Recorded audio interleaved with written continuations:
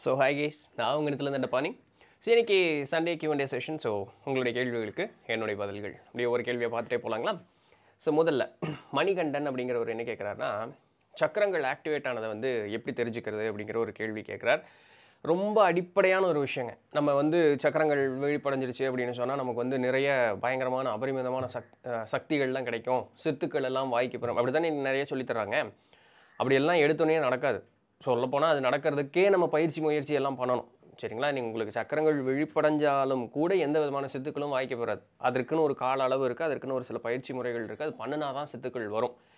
ஏன்னா ஞானம் அடைந்தும் சித்துக்கள் வாய்க்க பெறாத ஞானியர்களும் உண்டு.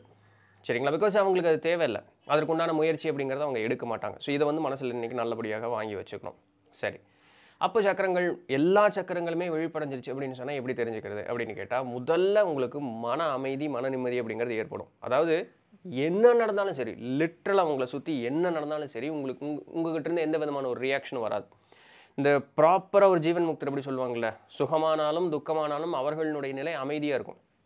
அதுக்கு எந்த விதமான ரியாக்ஷன் கொடுக்க மாட்டாங்க. நல்லா புரிஞ்சுக்கணும். இதுக்கு பேர் ஜடம் கிடையாது. இவர்கள் எல்லாத்தையும் உணர்ந்த காரணத்தினால இதனால் பயனில்லை அப்படிங்கிறது முழுமையாக உணர்ந்த காரணத்தினால அவங்ககிட்ட இருந்து எந்த ரியாக்ஷனும் வராது. ஸோ இந்த ஒரு நிலைப்பாடு அப்படிங்கிறது ஏற்படும்.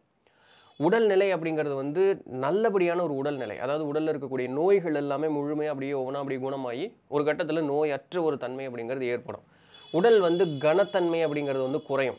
நல்லா இலகுவாக இருக்கே நல்லா இருக்கே. ஈஸியாக எந்த ஒர்க் வேணாலும் நம்மளால் செய்ய முடியிற மாதிரி இருக்கும்.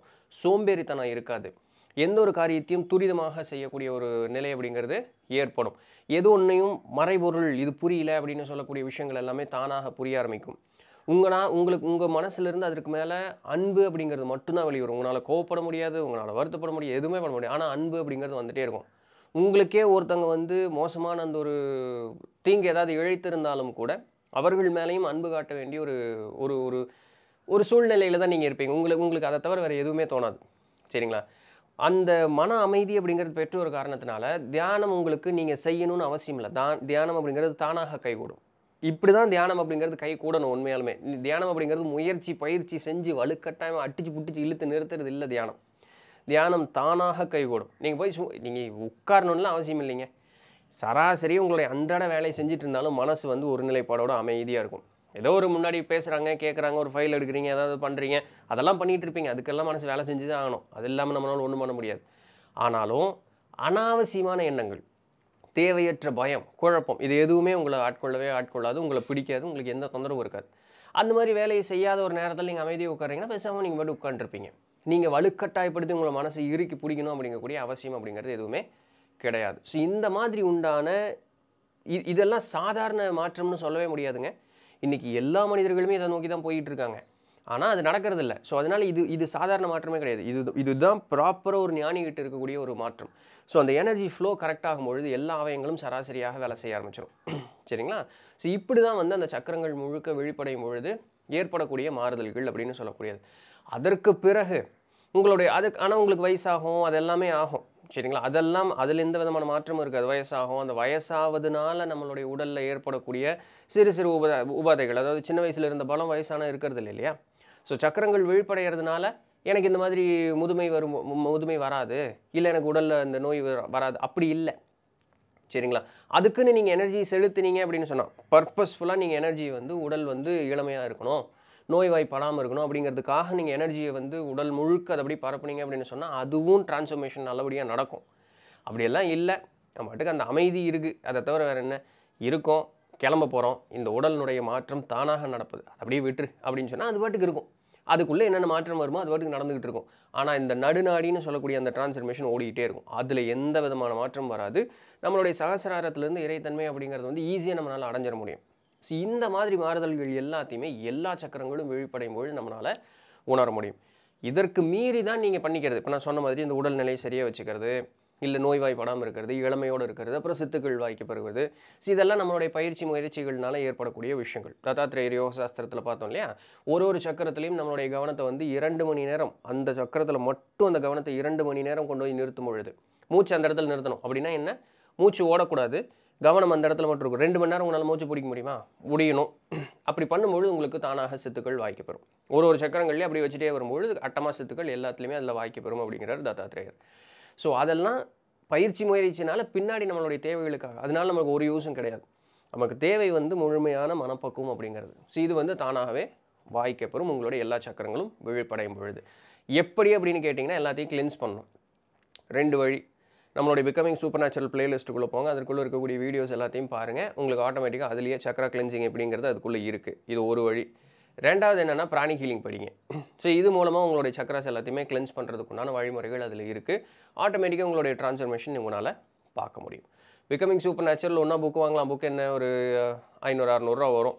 புக்கை வாங்கி படிக்கிறனாலும் படிங்க. நான் அந்த பிளேலிஸ்ட்டில் டிஸ்கிரிப்ஷன்லேயே புக்குக்கு நான் லிங்க் தந்திருக்கேன். அப்படி இல்லைன்னா நம்மளோட வீடியோஸ் இருக்குது வீடியோஸை பாருங்கள் இதுக்கு எல்லாத்துக்கும் பெருசாக காசு செலவு பண்ண வேண்டாம். வீடியோஸ் பார்க்குறதுக்கு சுத்தமாகவே காசு செலவு வேண்டாம். புக்கு பார்க்குற வாங்குறதுக்கு ஒரு சிறு சின்ன அமௌண்ட் காசு செலவு பண்ணும் பிராணி கீலிங் போனீங்கன்னா கண்டிப்பாக காசு செலவு பண்ணணும்.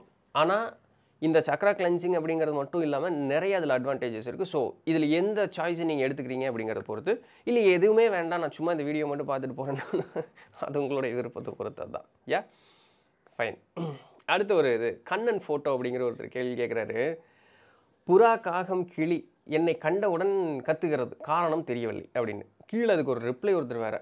போன ஜென்மத்தில் பறவையாக வாழ்ந்திருப்பீர்களா? அப்படின்னு சொல்லிட்டு. அதுக்கு அவர் நன்றி வேறு போட்டிருக்கிறாரு. நம்ம என்றைக்குமே நம்மளை வந்து நான் இதை எப்பவுமே சொல்கிறது தான் நம்மளை வந்து ஒரு ஹீரோவாக நினச்சிக்கிட்டே இருக்கக்கூடாது அப்படிங்கிறது. நம்ம உண்மையாலுமே ஹீரோவாக இருந்தோம்னாலுமே ஞானியர்கள் தங்களை ஞானியர்கள்னு சொல்லிக்கிறதே இல்லை. ஏன்னா அது கூட அவர்களுக்கு ஒரு நான் என்ற ஒரு அகம்பாவத்தை கொடுத்துரும் அப்படின்ட்டு.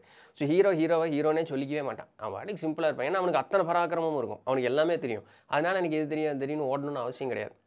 ஸோ இந்த இந்த இது சொல்லுவாங்க. நிறைகுடம் தழும்பாது. காளி குடமும் தழும்பாது. சரிங்களா? ஸோ அதனால் இதெல்லாம் நமக்கு இருக்கக்கூடிய கற்பனைகள். நான் கீழே ரிப்ளையும் போட்டுவிட்டேன் நீங்கள் அந்த காய் காக்கா கிளி இருக்கிற பக்கம் போயிருப்பீங்களா இருக்கும். இல்லை அது பாட்டு கத்திக்கிட்டே போயிருந்துருக்குமா இருக்கும். நீங்கள் அதெல்லாம் இப்படி ஒரு கற்பனைக்கு வந்துடுறீங்க அப்படின்னு சொல்லிட்டு. ஸோ இந்த மாதிரி கற்பனைகள் எல்லாம் நம்மளை வந்து சரியான பாதையில் வழி நடத்தி செல்லாமல் ஆஹா நம்மளுக்கு என்னமோ என்னமோ இருக்குது நம்மளை சுற்றி என்னமோ நடக்குது. நான் ஒரு ஸ்பெஷல் அப்படிங்கிற ஒரு எண்ணத்தை கொண்டு வந்து கொடுத்துரும். இது இது மட்டுக்கு கூட பயன்படாத ஒரு விஷயம். இதுக்கெல்லாம் ஃபோக்கஸ் பண்ணிவிட்டு கான்சென்ட்ரேட் பண்ணிட்டு இருந்தீங்க அப்படின்னு சொன்னால் உருப்படியாக வந்து கிடைக்க வேண்டிய ஒரு விஷயங்கள் நம்மளை விட்டு போயிடும் இது இது அவருக்காக இல்லை.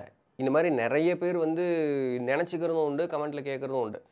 ஸோ அதனால் அதுக்காக சொல்ல வந்தேன். சரிங்களா? அது அவர் அவர் அவர் இந்த இந்த ஃப்ளோவில் அவர் சிக்கிட்டார். அவரை யூஸ் பண்ணி எல்லாத்துக்கும் இந்த ஒரு இதை சொன்னேன். ஸோ அதனால் இதெல்லாம் கற்பனைகள்லாம் விட்டுட்டு சரியான பொழப்பை பார்க்கலாம். சரியான பொழப்பை பார்த்து சரியான ஒரு ஞான பாதையில் போய் நல்ல ஒரு ஞானியாக மாறுறோம் அப்படின்னு சொன்னால் நம்ம லைஃப்பில் எதுவுமே ஸ்பெஷல் அப்படின்னு சொல்கிற மாதிரி எதுவுமே இருக்காது.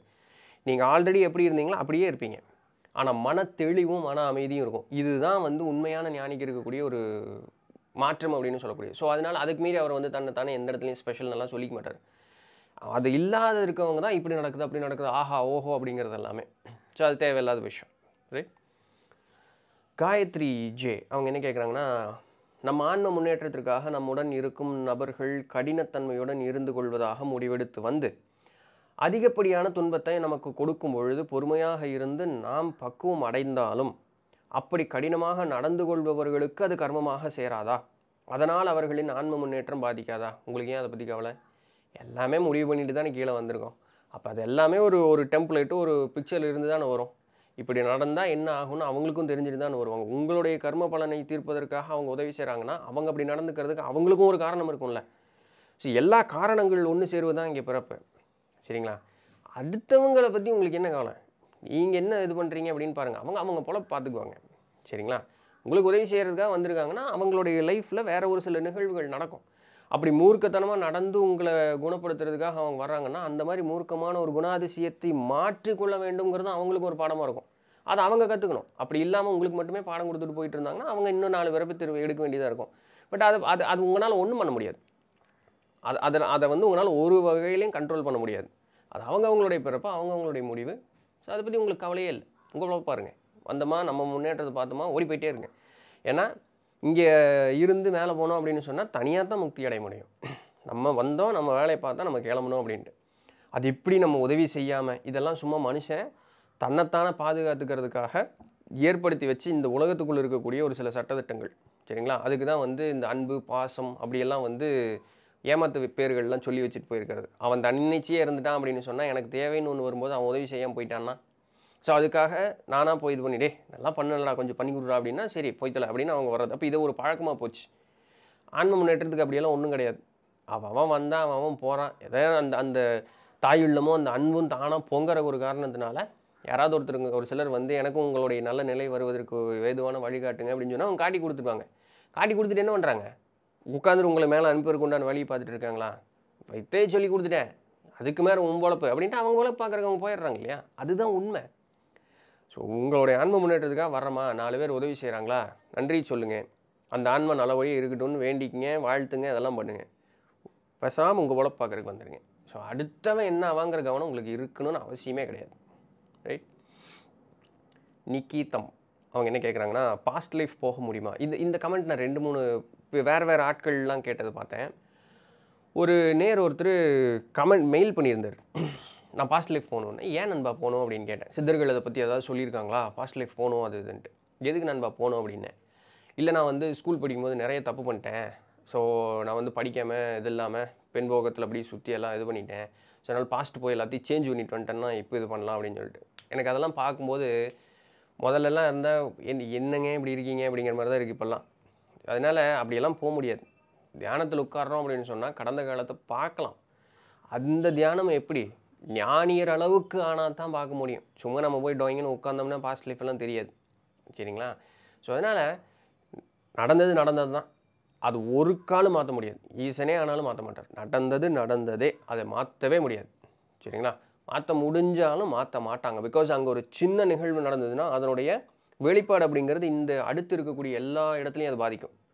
ஸோ அந்த இடத்துல எதையுமே பண்ண பார்த்துக்கலாம். அவ்வளோதான் அப்போ பாஸ்ட் லைஃப்பில் ஏதோ ஒன்று நடந்திருக்கு அப்படின்னு சொன்னால் அது நம்மளுடைய ஞாபகத்தில் இருக்கும். இந்த பிறவியில் இருக்கக்கூடியது. முந்தைய பிறவிகளை வந்து பார்க்கணும் அப்படின்னு சொல்லக்கூடியது அவசியமற்றது. அதனால் நம்மளுக்கு ஒரு பயனும் இல்லை. அப்படியே பார்க்கணுன்னா நம்ம ஞானியர்கள் அளவுக்கு நல்ல ஒரு ஆழ்ந்த ஒரு தியானத்திற்கு போய் அந்த துரிய நிலைக்கு போனோம் அப்படின்னு சொன்னால் பார்க்கலாம். சரி பார்த்து மட்டும் என்ன பண்ண போகிறோம் ஏதாவது மாற்ற மாற்ற முடியுமா? ஒன்றும் இல்லை. ஆனால் இன்றைக்கி நான் இங்கே இருக்கேன் அப்படிங்கிறது நிதர்சனம் தானே. இன்றைக்கி இந்த செகண்ட் பாஸ்ட்டில் என்னமோ பண்ணிட்டேன். தப்பெல்லாம் நடந்துருச்சு. ஓகே பரவாயில்ல அதை விட்டுருவோம். ஆனால் அதுலேருந்து பாடம் அப்படிங்கிறத ஒன்று எடுத்து கொண்டு வந்தோம்ல. இன்றைக்கி என் வாழ்க்கையை சீரழிச்சிட்டேன். நான் திருந்திட்டேன். நான் இதான் நான் பண்ணதான் தப்புன்னு திருந்திட்டேன். அப்போ இந்த இந்த நொடிங்கிறது நிதர்சனம் தானே. இந்த தவறுகளை மறுபடியும் செய்யாமல் நான் சரியாக இருந்துக்கிட்டேன் அப்படின்னு சொன்னால் என்னோட எதிர்காலத்தை நான் சரியாக பார்த்துக்க முடியும்ல. அதுக்கு தான் ஃபோக்கஸ் பண்ணணும். வசிஷ்டரோட யோக வசிஷ்டமில் என்ன பார்க்குறோம்? வசிஷ்டர் என்ன சொல்கிறாரு உன்னுடைய முன்வினை கருமங்கள் நீ சுமந்திருக்கக்கூடிய மூட்டை போல். அதை உன்னால் இறக்கவும் முடியாது அதை விடவும் முடியாது ஒன்றும் பண்ண முடியாது. அதில் ஒரு சேஞ்சு பண்ண முடியாது. அது அப்படியே இருந்தே தீரும். ஆனால் அதற்காக நீங்கள் அதை அத்தனையும் அப்படியே வந்து ஆயுசு பூரா தூக்கிட்டு போகணுன்னு அவசியம் கிடையாது. அந்த சுமையை நீ சுமந்துகே ஆகணுங்கிற அவசியம் கிடையாது. காரணம் என்ன? இந்த நொடிப்பொழுது இந்த ப்ரெசண்ட்டுங்கிறது உனக்கு நிதர்சனமான உண்மை இது. இதில் நீ சரியாக வாழ்ந்த அப்படின்னு சொன்னால் அந்த முன்வினை கர்மங்கிற அந்த மூட்டையை நீ அசால்ட்டாக அப்படி விட்டுறலாம். அந்த சுமம் உனக்கு இருக்கவே இருக்காது. அதில் என்ன இருந்தாலும் இந்த வாழ்க்கை உனக்கு பாதிக்காது. உன்னோட எதிர்காலம் சரியாக இந்த முடிவில் பொறுத்து உன்னோட எதிர்காலம் சரியாக இருக்கும். நீ ஃபோக்கஸ் பண்ண வேண்டியது இந்த த ப்ரெசன்ட் அதுதான் நீ ஃபோக்கஸ் பண்ண வேண்டியது. பழசையும் பற்றி கவலைப்பட வேண்டாம். எதிர்காலத்தை பற்றியும் கவலைப்பட வேண்டாம். இன்றைக்கி நீ சரியாக இருந்தேன்னா எதிர்காலம் சரியாக இருக்கும். கடந்ததை பற்றி கவலையே பட வேண்டாம் நீ அப்படிங்கிறது. இவ்வளோ தான் ஸோ அதனால் அந்த பாஸ்ட் லைஃப்பை ஃபுல்லாக மறந்துருங்க அது நமக்கு தேவையே இல்லை உண்மையாலுமே. நம்ம அந்த பாஸ்ட் லைஃப் ரிக்ரெஷன் போகிறோம் அது இது அப்படின்னு சொல்லும் பொழுது அதெல்லாம் ஆங்கிலேயர்கள் என்ன காரணத்துக்கு அவங்களுக்கு குழப்பம் நான் என்ன பண்ணுறேன் என்ன ஏது அப்படிங்கிறது தெரியல அதனால இது போன்றேன் அப்படின்னு சொல்கிறது ஓகே அதுலேருந்து நமக்கு நிறைய டேட்டா கிடைக்குது இன்ஃபர்மேஷன் கிடைக்குது தட் இஸ் ஓகே ஆனால் நம்மளுடைய சமுதாயம் நம்மளுடைய பெரியவங்க நம்மக்கிட்ட கொடுத்துட்டு போயிருக்கக்கூடிய விஷயம் என்ன அப்படின்னு சொன்னால் அந்த பாஸ்ட் லைஃப் ரிக்ரெஷன் இன்றைக்கி நமக்கு கிடைக்கக்கூடிய டேட்டாவை தாண்டி அதிகமான இருக்கக்கூடிய இன்ஃபர்மேஷன் தான் நம்மக்கிட்ட கொடுத்துட்டு போயிருக்காங்க. ஸோ அதை நம்ம இன்னொன்று என்னென்னா நம்ம ஜெனட்டிக்லி பை கல்ச்சர் நம்ம மைண்ட் வந்து ஸ்டேபிளான ஒரு மைண்ட்லேயே நம்மளுடைய வளர் வளர்ச்சி அப்படிங்கிறது இருக்குது எந்த சூழ்நிலை போனாலும் நம்மளால் பவுன்ஸ் பேக் பண்ண முடியும். ஸோ அந்த தைரியமும் வந்து உடலளவுலையும் மனதளவுலையும் இருக்குது ஸோ அதை நம்ம யூட்டிலைஸ் பண்ணிவிட்டு நம்மளுடைய ஃப்யூச்சர் ஃப்யூச்சரை கூட விட்டுருங்க. ப்ரெசண்ட்டை ஃபோக்கஸ் பண்ணி நம்ம வாழ்ந்தோம் அப்படின்னு சொன்னப்போ இன்றைக்கி நான் எடுக்கக்கூடிய முடிவுகளை சரியாக எடுத்தேன் அப்படின்னு சொன்னால் போதும். எனக்கு தெரியலையே அது முட்டாள்தனம். உங்களுக்கு தெரியலன்னு சொன்னீங்கன்னா நீங்கள் வந்து ஒரு உதவாக்கிற நீங்கள் ஒரு முட்டாள் உங்களுக்கு எந்த விதமான முயற்சியும் எடுக்காத ஒரு தண்டசோறுன்னு அர்த்தம்.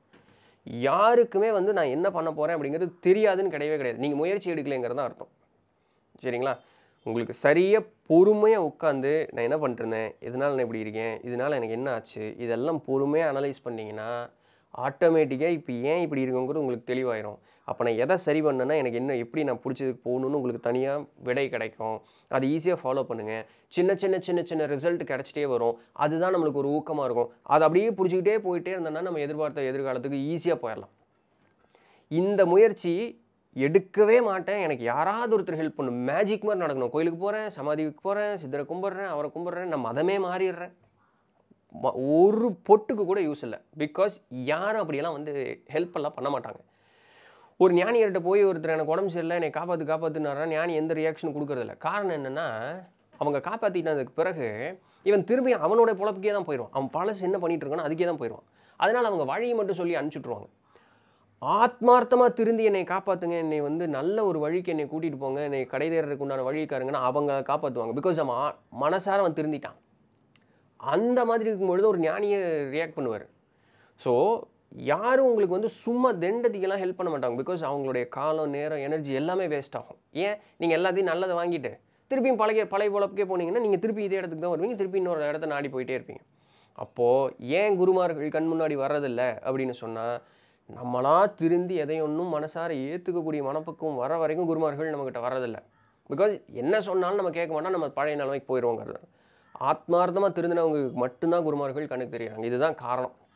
தெய்வமும் ஏன் பதில் சொல்கிறது இல்லை அப்படின்னு சொன்னால் இதுதான் காரணம். நீ எதை எடுத்தாலும் நீ எந்த முயற்சியும் செய்யாமல் கொண்டு போய் சாமி காலில் போட்டு அப்படின்னு சொன்னால் ஒன்றும் நடக்காது. ஏன்னா இங்கே நம்மளுக்கு ஆறு அறிவு இருக்குது அவங்க திருப்பி அதே ஒரே வார்த்தை தான் கேட்பாங்க. உனக்கு எல்லா அறிவும் இருக்குது நீ தான் முயற்சி செய்யல. ஸோ கடந்த காலம் கடந்த காலம் கடந்த காலம் கடந்த பிறப்பு முன்வினை கர்மம் அப்போ செஞ்சது இப்போ எனக்கு பலிக்குது. அதெல்லாம் சும்மா சாக்கு. அப்படியே அது பழிச்சாலுமே இப்போ உங்கள்கிட்ட அறிவு இருக்குல்ல இப்போ இருக்கக்கூடிய வாழ்க்கை இருக்குல்ல உடல்லையும் மனதிலையும் நல்லபடியான ஒரு திடகாத்திரமான ஒரு தன்மை அப்படிங்கிறது இருக்குல்ல. அது பத்தாது. பழசு எதுக்கு நம்ம வந்து கவலை பண்ணோம் எதிர்காலத்தை நோக்கி போக முடியாது. தாராளமாக முடியும். ஸோ அதனால் இந்த பாஸ்ட் லைஃப் முன்னணி கர்மம் இல்லை என்னுடைய எதிர்காலத்தில் நம்ம என்னோட இப்போ இந்த வாழ்னுடைய கடந்த காலத்தில் நான் தவறான முடிவுகள் எடுத்துட்டேன். அதனால் எனக்கு பிரச்சனை இருக்குது இது எல்லாத்தையும் விட்டுருங்க. இது எல்லாத்தையும் மறந்துடுங்க நடந்தது நடந்துருச்சு. அதுதான் தெரிஞ்சு வச்சில் நடந்துருச்சுன்னு. இது யார் காரணம்னு காட்டு நான் இப்படியெல்லாம் கை காட்டவே முடியாது. இப்படி தான் திரும்பணும். இப்படி திரும்பிச்சுன்னா மட்டும்தான் நமக்கு விடை கிடைக்கும். இப்படி திரும்பி நம்மளுக்கு விடை கிடச்சிருச்சு அப்படின்னு வச்சுக்கோங்களேன் இன்னையிலிருந்து நம்ம எடுக்கக்கூடிய முடிவுகள் எல்லாமே சரியாக இருக்கும். அதுக்கு நம்ம கொஞ்சம் கூட வேலை செய்யணும். ஸோ பாஸ்ட் லைஃப் போக முடியுமா? துரிய நிலை மாதிரி போகக்கூடிய ஆழ்ந்த தியானம் போனால் எஸ் பாஸ்ட் லைஃப் போகலாம் முடியாதுன்னுலாம் கிடையாது. பட் அதனால் ஒரு யூஸும் கிடையாது. பிகாஸ் ஆல்ரெடி துரிய நிலை அளவுக்கு போனீங்கன்னா நீங்கள் ஆல்ரெடி மென்டலாக நீங்கள் வந்து ஸ்டேபிளான ஒரு மைண்ட் செட்டில் இருப்பீங்க. உங்களுக்கு ஃப்யூச்சரோ எதை பற்றியும் உங்களுக்கு கவலை இருக்கா நீங்கள் வாட்டி பேசாமல் இருப்பீங்க. ஸோ அதை தவிர்த்து வேறு எந்த வகையிலையும் பாஸ்ட் லைஃபுக்கெல்லாம் போய் பார்க்க முடியாது. இந்த ரெக்ரெஷன் பண்ணலாம். அது அதுதான் ஒரே வழி. அதுவும் உங்களுக்கு நல்ல ஒரு டாக்டர் கிடச்சா ரெக்ரெஷன் பண்ணலாம். ஸோ இவ்வளோ தான் வேறு ஒன்றும் இல்லை. ஸோ அப்படியே பாஸ்ட் லைஃப் ரெக்ரெஷன் போயிட்டு வந்தீங்க. அங்கே ஒரு சில விஷயங்களை தெரிஞ்சுட்டு வந்திருந்தீங்க அப்படின்னு சொன்னாலுமே மாற்றலாம் முடியாது. தெரிஞ்சுட்டு வேணால் வரலாம். உங்களுடைய ஒரே வழி என்னென்னா இந்த ப்ரெசண்ட்டில் நீங்கள் என்ன செய்ய போகிறீங்க இவ்வளோ தான் இதுதான் உங்களால் செய்ய முடிஞ்ச ஒரே வழி. அதுக்கு மட்டும் ஃபோக்கஸ் பண்ணுங்கள் சரிங்களா? ரைட் அத்தீனா. ஓகே ஸோ அவங்க என்ன கேட்குறாங்கன்னா அனைத்து கோயில்களுக்கும் சென்ற பின் பெருமாள் கோயிலுக்கு செல்லக்கூடாது அப்படின்னு பெரியவங்க கூறுறாங்க. இதற்குண்டான காரணம் என்ன? மற்ற கோயில்களில் வாங்கிய வரத்தை பெருமாள் பெற்றுக்கொள்வார் என்று கூற்று வேறு பெருமாள் ஆட்டை போட்டுருவாரா? அப்படியெல்லாம் ஒன்றும் கிடையாதுங்க. நம்மளுடைய சுவாதிஷ்டானத்தில் பெருமாளும் லட்சுமி இருக்கிறதாக இருக்குது ஸோ நம்மளுடைய இனப்பெருக்கத்திற்கு மூலாதாரம் சுவாதிஷ்டானம். இனப்பெருக்கத்திற்கு வந்து அவர்கள் பெருவாரியான உதவி செய்வார்கள் அப்படிங்கிறது தான் அந்த அந்த அந்த சக்கரம் வேலை செய்யுங்க. நீங்கள் அதை தாண்டிட்டீங்க. மேலே இருக்கக்கூடிய கோயிலுக்கெல்லாம் போயிட்டீங்க. உங்களுக்கு உண்மை நிலை ஞான நிலை அப்படிங்கிறது என்னன்னு புரிஞ்சிருச்சு. சரிங்களா? அந்த புரிஞ்சதுக்கு அப்புறம் நீங்கள் என்ன பண்ணுறீங்க போகிற ஏழாயிரத்தில் பார்த்தோம்னா எனக்கு தெரிஞ்சு மூலாதாரம் சுவாதிஷ்டானம் மணிப்பூரகம் தானே. மணிப்பூரகத்தில் தான் பெருமாள் இருக்குன்னு சொல்லுவார்னு நினைக்கிறேன். ஆமாம் அனாகத்தில் தான் ருத்ரன் இருப்பார். ஓகே சுவாதிஷ்டானமோ மணிபூரமோ ஏதோ ஒன்று இந்த லோவர் த்ரீ சக்கரஸ் இருக்குது பார்த்தீங்களா? அதில் தான் வந்து இந்த உலகத்திற்கு உண்டான பிடிப்புகளோடு இருப்போம். பெருமாள் தான் கடைசி இந்த உலகத்தோடு இருக்கக்கூடிய பிடி பிடிப்பு. அதை தாண்டிட்டோம் அப்படின்னு வச்சுங்களேன் இந்த அனாகதத்துக்கு மேலே போயிட்டோம் அப்படின்னு சொன்னால் நமக்கு ஆன்ம முன்னேற்றம் அப்படிங்கிறது நடந்துடும் ஸோ இந்த இந்த கோயில்கள் எல்லாம் போயிட்டோம் அப்படின்னு சொன்னால் இதிலிருந்து நிறைய மாற்றங்கள் நமக்கு வரும். இந்த கோயில்களுக்கெல்லாம் போயிட்டு திருப்பியும் பெருமாளை போய் பார்த்தீங்க அப்படின்னு சொன்னால் எல்லாம் அவுட் வாங்கின வரமெல்லாம் போச்சு. ஸோ அதுதான் அதனுடைய தாற்பயம் ஃபிசிக்கலான கோயில் கிடையாது. ரைட் ஓகே தீபக் அப்படிங்கிறவர் வந்து ரமண பகவானும் அது மற்ற சித்தர்கள்லாம் வந்து ஏன் உடல் நோயை குணப்படுத்திக்கவில்லை அப்படின்னு சொல்லிட்டு கேட்டிருக்காங்க. ஸோ போன தடவை ஏதோ ஒரு பதிவு போட்டதுக்கு நிறைய பேர் இந்த கேள்வி கேட்டிருந்தீங்க. ரமண மகரிஷி சித்தர் கிடையாது. சித்தர்கள் அப்படின்னு சொல்கிறதுக்குன்னு ஒரு பர்டிகுலர் ரீசன் இருக்குது அந்த வார்த்தைக்கே வந்து ஒரு தனிப்பட்ட ஒரு அர்த்தம் ஒரு காரணம் அப்படிங்கிறது இருக்குது இன்றைக்கி நிறைய பேரை வந்து சித்தர்கள் அப்படின்னு சொல்லிட்டு சுற்றிட்டு இருக்காங்க. அவங்க ஞானியே ஆகலை. ஆனால் அவங்கள தன்னை தானே சித்தர்னு சொல்லி சுற்றிட்டு இருக்காங்க. இன்றைக்கி யாரும் ஞானியே கிடையாது. அறிவு இருக்குது பேச்சு திறன் இருக்குது அவ்வளவுதானே தவிர அவர்கள் ஞான நிலையே அடையாதவர்கள் தான் இன்றைக்கி நிறைய பேர் பார்த்துட்ருக்கோம் உண்மையான ஞானியும் உண்மையா உண்மையான சித்தர் இருப்பாங்களா? இருக்கும். நான் பார்த்ததில்ல. இருப்பாங்களா? இருக்கும். ஆனால் அவங்கள தேடி கண்டுபிடிக்கணும். உங்களுக்குன்னு ரணம் இருந்தால் அவங்கள பார்த்து கண்டுபிடிச்சிக்கலாம். அதை தவிர்த்து மற்றபடி ரொம்ப கஷ்டம். இந்த பப்ளிக் சாமியார்கள்லாம் இருக்காங்க பார்த்தீங்களா? அவங்கெல்லாம் பக்கம் கூட போகாத ஆட்கள். ஸோ அந்த மாதிரி இருக்கவங்க எல்லாத்தையும் சித்தர்கள்னு சொல்லாதீங்க. ஒன்று ரமணவர் போலையோ பெரியவர் போலையோ இப்போ நம்மளுடைய ஸ்பிரிச்சுவல் பீப்புளில் வந்து நிறைய ஞானியர்கள் இருப்பாங்க. அவங்கள எல்லாத்தையும் சித்தர்னு சொல்லாதீங்க. சித்தருங்க அப்படின்னு சொல்லக்கூடியதனுடைய கேட்டகரியே டிஃப்ரெண்ட் சரிங்களா? அவங்களுடைய வேற ஒரு ரேஞ்சில் வேற ஒரு பிளேனில் ஆஃப் எக்ஸிஸ்டன்ஸில் இருக்கக்கூடியவர்கள் சித்தர்கள். ஸோ எல்லாத்தையும் கொண்டு வந்து சித்தர்னு சொல்லாதீங்க. அது அதில் தெளிவாக இருக்கணும். அப்போ யார் சித்தர்னு கேட்காதீங்க. முன்னாடி ஒரு பதிவு போட்டிருக்கேன் அதை பாருங்கள் ஏன் இந்த மாதிரி ஞானியர்கள் தங்களுடைய உடல்நிலையை குணப்படுத்திக்கிறது இல்லைன்னா ஏன் பண்ணணும்? என்ன பண்ணணும்? எது என்ன யூஸ் தன்னுடைய உடல்நிலையை குணப்படுத்திக்கிறேன்னா என்ன யூஸ் ஆகிருப்போகுது வந்தோம் போக போகிறோம் இந்த உடல் தன்னைத்தானே ஒரு சில கால சூழல்னால மா மாறுதல் ஏற்பட்டுக்கிட்டு இருக்கு. ஏற்பட்டுட்டு போட்டுமே அதனால என்ன? அவங்களுக்கு அவ்வளோதாங்க அவங்க அவங்க இது இது இருக்கிற மாறு மாறி மாறிட்டு போகுது. இப்போ எப்படி இருந்தாலும் போக போகிற உடம்பு இதை நான் காப்பாற்றி என்ன பண்ண போகிறேன் இன்றைக்கி இல்லைனாலும் ஒரு ஆயிரம் வருஷம் இருக்கேன். உடல்நிலையை காப்பாற்றிட்டு ஆயிரம் வருஷம் இருக்கேன். அப்புறம்? இன்னொரு ஆயிரம். அப்புறம்? இன்னொரு ஆயிரம். அப்புறம்? இப்படி ஒரு பத்தாயிரம் வருஷம் இருக்கீங்க. பிறகு ஒரு கட்டத்தில் எப்படி இருந்தாலும் அந்த உடம்பு விட்டுட்டு போய் தான் ஆகணும். இது இது இல்லை வீடு. இந்த வீ இது இது வந்து ஒரு டெம்பரரி ஏரியா டெம்பரரி ஏரியாவில் எவ்வளோ நாள் இருப்பீங்க? ஸோ அதனால் இந்த உலகத்தை விட்டு ஒரு கட்டத்தில் போய் தான் ஆகணும். அதனால எதுக்கு நான் பத்தாயிரம் வருஷம் இருந்துட்டு என்ன ஆயிர போகுது? அதனால் இது இப்போ இது இது ஒரு ஐம்பது வருஷம் இருக்கா இருந்துட்டு போகுது. மாறுதல் ஏற்படுதா? துன்பம் ஏற்படுதா? உடல் நோய் வாய்ப்படுதா? பட்டுட்டு போகுது. அதனால் என்ன? அதை அதனுடைய வேலையை செஞ்சுக்கிட்டு இருக்குப்பா அது பாட்டுக்கு செஞ்சுட்டு போட்டோம். நான் பாட்டுக்கு இருக்கேன். ஒரு முடிஞ்சுதுன்னா கட்ட முடிஞ்சுதா எந்த எடுத்து எரிச்சிட்டு போகிறேங்கப்பா நான் கிளம்புறேன் அப்படின்னு கிளம்பி போயிட்டே இருப்பாங்க. அவ்வளோதான் ஸோ அதனால் அவங்களுக்கு இது மாதிரி எல்லாம் இது உடல் மேலே பெருசாக ஈடுபாடோ பற்றோ இருக்காது. அதுதான் உண்மையான ஞானியினுடைய நிலைப்பாடு அப்படின்னு சொல்லக்கூடியது. ஸோ இதனால தான் காரணம். அவங்க எந்த விதமான செல்ஃப் ஹீலிங் எல்லாம் பண்ணிக்காததுக்கு உண்டான காரணம். ஆனால் அவங்ககிட்ட இருந்து நிறைய பேர் சக்தி வாங்கிட்டு போவாங்க. அவங்களுக்கெல்லாம் ஹீல் பண்ணி விட்டுட்டு இருப்பாங்க. ஸோ அடுத்தவங்களுக்கு ஹீல் பண்ணுறதுக்கு தானே ஹீல் பண்ண தெரியாதா? அவங்களுக்கு தேவையில்லை. அவ்வளோதான் எஸ் ராஜேஷ் ஜே அப்படிங்கிறவர் என்ன கேட்குறாருன்னா நீங்கள் இதெல்லாம் படிச்சிருக்கீங்க. இன் சென்ஸ் எல்லாமே. இப்போ நம்ம வீடியோ போடுற எல்லாமே. நீங்கள் இதெல்லாம் படிச்சிருக்கீங்க. யூடியூப்பில் வந்து இதை தெரிஞ்சது எல்லாமே யூடியூப்பில் ஷேர் பண்ணிகிட்டு இருக்கீங்க. இதனால வந்து எனக்கு என்ன நன்மை எனக்கு என்ன புண்ணியம் இருக்குது அப்படின்னு கேட்குறாரு ஸோ என்ன தேவை இருக்குது உங்களுக்கு என்ன தேவை இருக்குது அப்படின்ட்டு. தெரில நண்பா. முதல் முதல் யூடியூப் ஸ்டார்ட் பண்ணும்பொழுது நான் இந்த மாதிரி ஆன்மீகம் போடணும்னு ஸ்டார்ட் பண்ணல. நான் ஜென்ரலாக போடணும் அப்படிங்கிற மாதிரி தான் ஸ்டார்ட் பண்ணேன். அப்புறம் அப்படி போக போய் ஆன்மீகம் சம்மந்தமான விஷயங்கள் தான் அதிகமான வரவேற்பு இருந்தது. சித்தர்கள் பேச்சு அதெல்லாமே வரவேற்பு இருந்தது. பிறகு அப்புறம் அதையவே கண்டினியூ பண்ணி அது அப்படியே ஆன்மீக சேனலாகவே முழுக்க மாறி போச்சு எனக்கு இப் அப்போ வேலை செஞ்சுட்டுலாம் இருந்தேன். இப்போ நான் வேலை செய்கிறதில்ல இப்போ எனக்கு யூடியூப் தான் ஒரே சோர்ஸ் ஆஃப் இன்கம் ஸோ ஏன் தொடர்ந்து வீடியோ போடுறேன்னா எனக்கு இதுதான் சோர்ஸ் ஆஃப் இன்கம் இது only one source of income so அதனால அது ஒரு காரணம் வீடியோ போடுறதுக்கு. ரொம்ப நாள் அந்த நினப்பில் தான் இருந்தேன். அதனால நிறையா வித்தியாச வித்தியாசமாக டிசைன் டிசைனாக வீடியோ போடும்பொழுது எனக்கு நல்ல வருமானம் வந்துட்டு தான் இருந்தது. அப்புறம் அப்படியே கொஞ்சம் கொஞ்சமாக படிக்க படிக்க படிக்க நம்ம ப்ராப்பரான கண்டென்ட் அப்படிங்கிறது கொடுக்கும் பொழுது அதுலேருந்து நானும் படிச்சுக்கிறேன்ல. எனக்கும் தெரியுது இல்லையா? ஸோ தெரியும் பொழுது நான் யூடியூப்பை எதுக்கு யூஸ் பண்ணிக்கிட்டேன்னா என்னுடைய வளர்ச்சிக்காக யூஸ் பண்ணிட்டேன். இதனால் நான் நிறைய விஷயங்கள் படிக்கிறேன். அது ஒரு ஆர்வமாக போச்சு. படிக்க படிக்க நான் தேடி அலைஞ்ச விஷயங்கள்லாம் எனக்கு ரொம்ப சுலபமாக வந்து எனக்கு கிடச்சிக்கிட்டே இருந்தது. கொடுத்தாங்கன்னே சொல்லலாம். ஸோ கிடச்சிக்கிட்டே இருந்தது. அப்போ இதை படிக்க படிக்க படிக்க இதனுடைய எங்கிட்ட நடக்கக்கூடிய மாறுதல்களை உணரும் பொழுது இந்த மாறுதல்கள் மக்களுக்கு போய் சேர்ந்ததுன்னா நல்லா இருக்கும்னு யோசித்தேன் அதை தொடர்ந்து சொல்ல ஆரம்பித்தேன் அதை பயிற்சி பண்ணின மக்கள் வந்து கீழே கமெண்ட்லலாம் ஃபீட்பேக் கொடுக்கும்போது மெயில் அனுப்புவாங்க இன்ஸ்டாகிராமில் சொல்லுவாங்க. ஸோ இதெல்லாம் படிக்கும்பொழுது எனக்கு ரொம்ப ஆச்சரியமாக இருந்தது. அப்போது இது பெருவாரிய மக்களுக்கு உதவியாக இருக்குது அப்படிங்கிறத நான் நல்லா புரிஞ்சுக்கிட்டேன். என்னதான் எனக்கு இன்றைக்கி இங்கே பொழப்ப ஓட்டுறதுக்கு எனக்கு காசு வேணும் அப்படிங்கிறது இருந்தாலும் கூட இப்போ வந்து எனக்கு மனோநிலை எப்படி இருக்குன்னா மக்களுக்கு பெட்டராக கொடுக்கணும். நம்ம தெரிஞ்சுக்கிட்டு நம்ம மட்டும் வச்சுக்கிட்டு அதனால ஒரு பயனும் இல்லை. மக்களுக்கு பெட்டராக கொடுக்கணும். இன்றைக்கி நிறைய பேர் ஏமாத்துறாங்க. ரொம்ப ஈ- ரொம்ப சுலபமாக கிடைக்கக்கூடிய விஷயங்களையே காசு பண்ணி ஏமாத்துறாங்க. அது அது அப்படி மக்களே தேடி படித்தாலே கிடச்சிரும் ஈஸியாக ஒரு ஒரு ஒரு ஐநூறுரூவா புத்தகம் ஒரு ஒரு ஐநூறுரூவாய்க்கு புத்தகம் வாங்கினா யோகா வாஷிஸ் தான் இந்த புத்தகம். சென்னையில் இருந்து தான் வாங்கினேன். யார்? அல்லயன்ஸ் கம்பெனி பாருங்க சொல்கிறேன் இதெல்லாம் அல்லயன்ஸ் கம்பெனி வேணால் வாங்கி படிங்க. எழுதினவர் வந்து எஸ்வி கணபதி அப்படின்னு சொல்லக்கூடியவர். இது இது ஒரு நானூற்றம்பது ரூபா தான் புக்கு இதை படித்தாலே நம்மளுக்கு எல்லா விதமான முக்தி நிலையை போகிறதுக்குண்டான வழி கிடைக்கும். ஆனால் மக்கள் படிக்க மாட்டாங்க. இப்போ நான் படித்தேன் படித்து சொல்கிறேன் உடனே என்ன வருமானம் கிடைக்குது?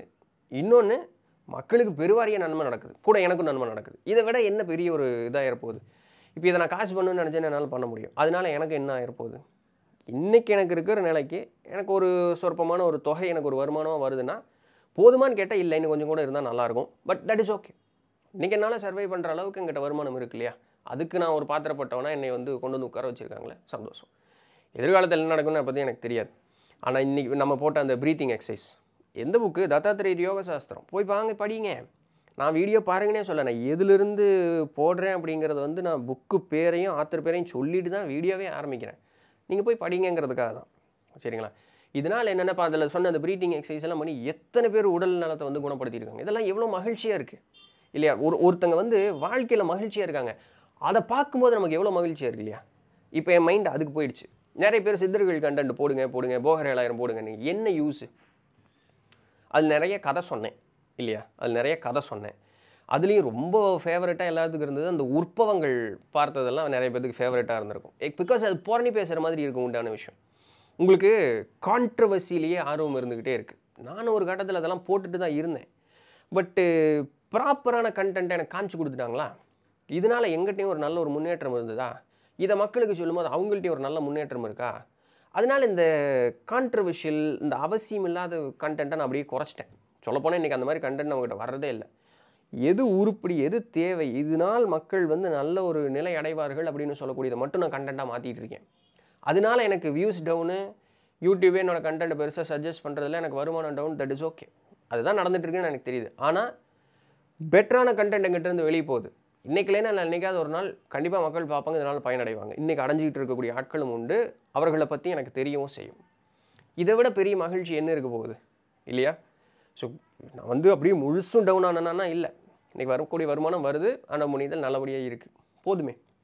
எதிர்காலத்தில் நல்லா வரட்டுங்க. நானும் பெரிய பங்களா கட்டி வரும்போது எங்கள் அப்பா வெளியே விட்டுட்டு வந்தேன். வரும்போது ஒரு அஞ்சு கார் வாங்கணும்னு யோசனை பண்ணிட்டே வந்துட்டு இருந்தேன். ஸோ எதிர்காலத்தில் வரட்டும். வரட்டும். எங்கள் கையில் ஒன்றும் இல்லை. நடக்கிற நடக்கட்டும். எங்கிட்ட என்ன இருக்குது ஸோ ஒன்ஸ் இந்த ஒரு ஒரு ப்ராப்பரான ஒரு ஃபீலை வந்து அண்டர்ஸ்டாண்ட் பண்ணிட்டு இருந்தீங்களா நம்ம இதை ஒன்று சொல்கிறதுனால ஒரு சிலர்னால நூட்கள் படிக்க முடியறதில்ல தமிழ் தெரியறதில்ல தெரிஞ்சாலும் அந்த ஒரு சில கான்செப்ட்ஸ் புரிஞ்சிக்க முடியறதில்ல. இன்றைக்கி எத்தனை பிறவியில் நான் என்ன பண்ணணும்னு எனக்கு தெரியாது. இதெல்லாம் எனக்கு படித்தா புரியுது. பெட்டராக எக்ஸ்பிளைன் பண்ண முடியுது. இது வந்து மக்களுக்கு பெரு பெருவாரியான உதவியாக இருக்குது இது இது எவ்வளோ மகிழ்ச்சியான ஒரு செய்தி இல்லை? என்னால் முடியாத ஒரு விஷயம் ஒருத்தங்ககிட்ட இருந்து எனக்கு கிடைக்கிது. அதுக்கு நான் பெருசாக எந்த விதமான மெனக்கடணும்னு அவசியம் இல்லைன்னு சொல்லக்கூடியது வந்து மக்களுக்கு அது எவ்வளோ ஒரு ஹாப்பியான ஒரு ஃபீலிங்கில் இருக்காங்க. அதை யூஸ் பண்ணுறாங்க அவங்களுடைய ரிசல்ட்ஸை கேட்கும்போது எனக்கு ரொம்ப நல்லா இருக்குது ஸோ இதெல்லாம் ரொம்ப மகிழ்ச்சியான ஒரு சூழ்நிலைங்க. ஸோ அந்த ஒரு காரணத்தினால தான் தொடர்ந்து இதை வந்து போட்டுக்கிட்டும் பண்ணிக்கிட்டே இருக்கேன். ஸோ அந்த அந்த ஒரு ஆத்மார்த்தமான ஒரு சாட்டிஸ்ஃபேக்ஷன் யா ஸோ அது இருக்குது உண்மையாலுமே. ஸோ அதனால தான் அப்படி பண்ணிக்கிட்டே இருக்கேன். ஸோ இதனால் எனக்கு என்ன பயன்னா இதுதான் பயன். என்னுடைய ஆத்மார்த்தமான அந்த ஒரு மகிழ்ச்சி அப்படின்னு இருக்குது பார்த்தீங்களா ஸோ அதுதான் இருக்குது ஸோ அதனால எனக்கு வந்து ரொம்ப ஒரு திருப்திகரமாக இருக்குது நிறைய பேர் சொல்கிறது உண்டு. என்னங்க ஒரே மாதிரி போகுது ஒரே கண்டென்ட்டு அதுதான் தேவை. ஆன்ம முன்னேற்றம் அடைவதற்கு அது கண்டிப்பாக தேவை. வியூஸ் டவுன் ஆகுதுங்கிறதுக்காக ஒரு சில விஷயங்கள் என்னால் மாற்ற முடியுது. பிகாஸ் இதுதான் அவசியம்னு தெரிஞ்சதுனால அதை நான் கொடுத்துக்கிட்டே இருக்கேன். அதை வந்து யார் கரெக்டாக தேவைப்படுறாங்களோ அவங்க எடுத்துக்கிறாங்க. அது ஒரே மாதிரி இருக்குன்னு சொல்லக்கூடியவங்க இக்னோர் பண்ணிடுறாங்க. பட் தட் இஸ் ஓகே அது அவங்க அவங்கள பொறுத்தது இல்லையா? That is all Priya life coach அப்படிங்கிறவங்க என்ன கேட்குறாங்கன்னா இவங்க வந்து ஒரு ஒரு மணி நேரம் வரைக்கும் அப்படியே எந்த தாட்ஸும் இல்லாமல் சும்மாவே உட்காந்துருக்காங்களா அதுக்குண்டான காரணம் என்ன? I am enjoying the moment அப்படிங்கிறாங்க. இந்த கமெண்ட்டை போட்டுட்டு இதுக்கு இந்த கமெண்ட்டுக்கு ஒரு ரெண்டு மூணு வீடியோ முன்னாடி வந்து அந்த புருவமதி தியானம் பண்ணிகிட்டு இருந்தேன். அதனால வந்து எனக்கு நிறைய குழப்பமான மனோநிலை வந்துருச்சு. அதனால் இப்போ எந்த தியானமே பண்ணதில்லைன்னு போட்ட கமெண்ட் போட்டவங்க இவங்களே தான். அந்த கமெண்ட்டை போட்டு ஒரு மூணு நாலு நாள் கழித்து இந்த கமெண்ட்டையும் போட்டிருக்காங்க. என்ன மனோநிலையில் இருக்காங்கன்னு தெரியல. மேட்ரு இப்போ அவங்க இல்லை. ஏன்னா நான் முன்னாடியே சொன்னல அந்த ரொம்ப உங்களை ஸ்பெஷலாக நினச்சிக்காதீங்க அப்படின்னு சொல்லிட்டு. ஸோ இது அந்த மாதிரி ஒரு கமெண்ட்டு மேட்ரு இப்போ அந்த கமெண்ட்டில் அது கீழே இருக்கு, அந்த ரிப்ளை தான். கூகி சென்ஸ் அப்படின்ட்டு. உங்களுடைய தியானத்தில் வந்து நீங்கள் எங்கே கவனத்தை வைக்கிறீங்க? என்ன டைப் ஆஃப் மெடிடேஷனை ப்ராக்டிஸ் பண்ணுறீங்க அப்படின்னு. எல்லா வீடியோலையும் சொல்கிறேன் தியானம் அப்படிங்கிறது வந்து இந்த மெத்தேடு இது பண்ணுறேன் இங்கே கவனத்தை வைக்கிறேன் இந்த முத்திரை போடுறேன் இந்த மந்திரம் சொல்கிறேங்கிறது இல்லை. தியானம் அமைதியான மனோநிலை கொண்டு வர்றதுக்கு அதற்குண்டான ஒரு சில வழிமுறைகள் தான் மூச்ச கவனி இந்த புருவமத்தி கவனி. இதெல்லாம் சும்மா உங்களுடைய ஃபோக்கஸ் ஒருநிலைப்படுத்துறதுக்கு. உங்களுக்கு ஒன்ஸ் அந்த அமைதியான மனோநிலை போச்சுன்னா அது தேவையில்லை. இதை ப சரிங்க அப்போ அந்த ஒரு ம- அமைதியான மனோநிலை வர்றதுக்காகத்தான் அது சொன்னாங்க. அப்போ இது தெரிஞ்சுக்கணுமில்ல. அப்போ இதில் இத்தனை மெத்தட் இருக்குல்ல. அதுவுமே தேவையில்லை. நான் இதெல்லாமே பண்ணியிருக்கேன். இதனால் ஒரு பயனும் இல்லை. ஆத்மார்த்தமாக உங்களுடைய மனோநிலை அமைதி ஆகலைன்னு சொன்னால் நீங்கள் என்னதான் மூச்சை கவனிச்சிங்கனாலும் என்னதான் புருவமத்தியில் கவனத்தை வச்சிங்கனாலும் என்னதான் மந்திரம் சொன்னீங்கனாலும் உங்கள் புத்தி ஊர் சுற்றிக்கிட்டே தான் இருக்கும். அதில் ஒரு மாற்றமே நடக்காது. நீங்கள் இங்கே முக்கி முக்கி மூச்சை கவனிச்சிக்கிட்டு இருப்பீங்க மந்திரம் சொல்லிகிட்டு இருப்பீங்க. அவன் போகிற பக்கம் போயிருப்பான். ஆல்ரெடி நாலு அண்டங்களை தாண்டி அவன் பறந்து போயிட்டு இருப்பான். அதனால ஒரு யூஸும் கிடையாது. நீங்கள் சும்மா உட்காரணும். இதுக்கு நீங்கள் பயிற்சி எடுத்துக்கணும். மனசில் எண்ணங்கள் எழும்பொழுது ஏழாத அமைதியை உட்காரு. இங்கே பொழப்பு என்ன? தியானம் பண்ணுறக்கு அமைதியை உட்காருக்கு அதை மட்டும் பாருன்னு சொல்லி உங்களுக்கு நீங்களே சமாதானம் சொல்லி சொல்லி நீங்கள் தான் டம்மி பண்ணணும். பை ப்ராக்டிஸ் இது சரியாகும். இதுக்கு தியானத்தினுடைய வகை என்ன? எங்கே போய் கவனித்தா என்ன? இதனால் ஒரு யூஸும் கிடையாது. அவன் பொறிப்பையும் ஊர் சுற்றிக்கிட்டே இருப்பான் மனசு. ஆனால் அந்த பொறிப்பையும் திருந்திட்டான்னு வச்சுக்கிங்களேன் அவனை விட உன்னதமான ஆள் வேறு யாருமே இல்லை. அதுக்கு நீங்கள் தான் முயற்சி செய்யணும். ஸோ எந்த வகையான பயிற்சி முயற்சி அப்படிங்கிறதுக்கு மேலே ஃபோக்கஸ் இல்லாமல் பேசாமல் அமைதியாக உட்காருங்க. தான் கண்டிப்பாக எண்ணங்கள் எழத்தான் செய்யும். எழக்கூடிய எண்ணங்களை நீங்கள் அப்படியே அமைதி இது இது ஏன் இப்போ நடக்குது? ஓ இதுக்கு இதுதான் காரணமா? சரி ஓகே இது இக்னோர் பண்ணிடுவோம் இது நமக்கு தேவையில்லை. காரணத்தை புரிஞ்சுக்கிட்டிங்கன்னா அந்த எண்ணம் அதுக்கப்புறம் வராது. அப்போ நீங்கள் எவ்வளோ குப்பை சேர்த்து வச்சுருக்கீங்கிறத பொறுத்து. அப்போ அதுக்குண்டான நாள் பிடிக்கும். ஒரு சிலருக்கு நாலு வாரம் மாதம் வருஷக்கணக்காகவும் அந்த உள்ளே இருக்கிற குப்பை வெளியே வந்துக்கிட்டே இருக்கும். அடிஷ்னலி நீங்கள் சேர்த்தாம இருந்தீங்கன்னா சரி வெளியே வந்துட்டே இருக்கும். இதுக்கு வந்து நீங்கள் நூட்கள் தொடர்ந்து படிக்கிறதாகவோ இல்லை ஒரு ஞானி ஒருத்தருடைய பேச்சை கேட்குறதாகவோ நீங்கள் ஏதோ ஒரு நாலு விஷயத்த ஒரு டிஸ்கஷன் யாருக்கிட்ட நம்மளே இன்னும் முழுசு அடையில. முழுசு அடையாத இன்னொருத்தங்கிட்ட பேசினா அப்புறம் அதெல்லாமே அறகுறை பேச்சாக தான் இருக்கும். அப்போ கொஞ்சம் ஒரு நல்ல ஒரு நிலையில் இருக்கக்கூடியவர்கள்ட்ட போய் ஒரு சில சந்தேகங்கள் கேட்டு ஒரு சில விஷயங்கள் அவர்கள் கூட பேசுவது மூலமாக அப்போ இதெல்லாம் தெரிஞ்சுக்கிட்டதை வந்து நம்ம தொடர்ந்து ப்ராக்டிஸ் பண்ணுறது மூலமாக அந்த மனசாந்தி அப்படிங்கிறது தானாக ஏற்படும். இது இது இதுதான் உண்மையாலுமே தியானம் அப்படிங்கிறது. ஸோ தியானம் தானாக நடக்க வேண்டியது. வலுக்கட்ட இடம் தான் படுத்தவே முடியாது. ஸோ அதனால் இது இது அவர் கேட்டாருங்கிறதுக்காக சொல்ல வந்தேன். இந்த வேறு ஒன்றும் இல்லை. ஸோ கவனப்பட்டுக்குங்கிறதுக்காக ஓ முடிஞ்சுதுங்க. அவ்வளோதான் ஸோ இதோட இன்னைக்கு உண்டான Q&A எல்லாமே முடிஞ்சுது. பிடிச்சிருந்துருக்கும் இன்ஃபர்மேட்டிவாக இருந்திருக்கும் அப்படின்னு நம்புகிறேன் நாளைக்கு என்ன? வேறு ஏதாவது சுவாரஸ்யமான செய்தியில் சந்திப்போம் அதுவரையும். தொடர்ந்து இணைந்திருங்கள். நான் உங்களுக்கு என்ன பண்ணி நன்றி. வெற்றிவேல் வெற்றிவேல் வெற்றிவேல்